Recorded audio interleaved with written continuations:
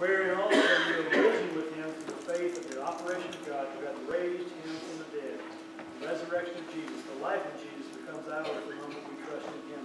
Paul goes on to say that we mortify, we put to death those old things, those sinful activities in our life that we had beforehand. He says to put on the things of Christ. Let the word of God richly dwell in you with all wisdom, teaching and admonishing one another in and hymn and spiritual song. The reason we have a baptismal service is to testify before the Lord that we have given our life to Christ. We're living a new life with Him now. We're taking that first step of obedience.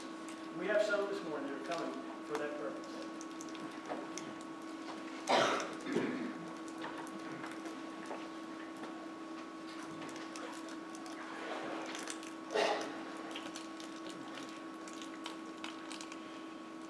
Delaney Cagna, have you accepted the Lord Jesus Christ as your personal and Savior?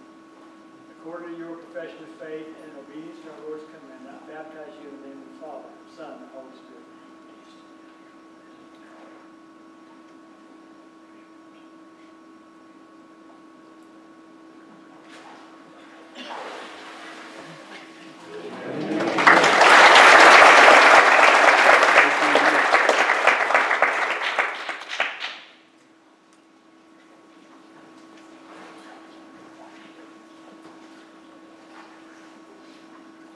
We have a couple here today who come. Michelle Fall, Kent. They come to follow the Lord in baptism. Michelle, have you accepted the Lord Jesus as your personal Lord and Savior? According to your profession of faith and obedience to our Lord's command, I baptize you in the name of the Father, the Son, and the Holy Spirit.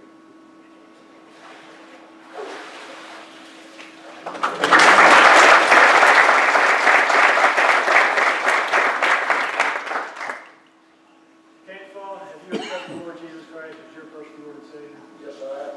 According to your profession of faith and in obedience to our Lord's command, I baptize you in the name of the Father, Son, Holy Spirit.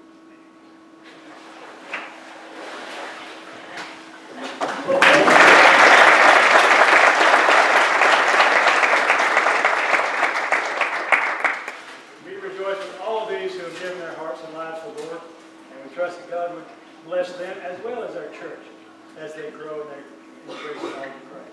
Let's bow in prayer. Father, thank you so much for this occasion, and for these who have come. We just thank you that uh, this celebration is something we share for a world that needs Christ.